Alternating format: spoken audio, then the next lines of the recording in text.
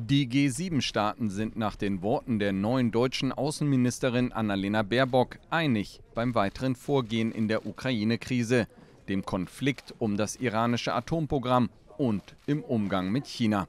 Die Außenminister der sieben führenden Industriestaaten hätten sich in all diesen Fragen auf ein klares Statement verständigt, sagte Baerbock am Samstag beim zweitägigen Treffen in Liverpool. Wenn russische Truppen die Grenze zur Ukraine überschreiten würden, würde das enorme politische und wirtschaftliche Konsequenzen haben.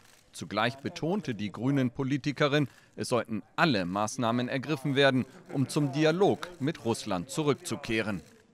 Der G7 gehören neben Deutschland die USA, Kanada, Großbritannien, Frankreich, Italien und Japan an. Zum 1. Januar wird Deutschland die Präsidentschaft der G7 von Großbritannien übernehmen. Baerbock stellte ihren Kollegen in Liverpool nach eigenen Worten die Schwerpunkte dafür vor. Ein Kernthema sei die enge Verknüpfung von Klimakrise und Sicherheitspolitik.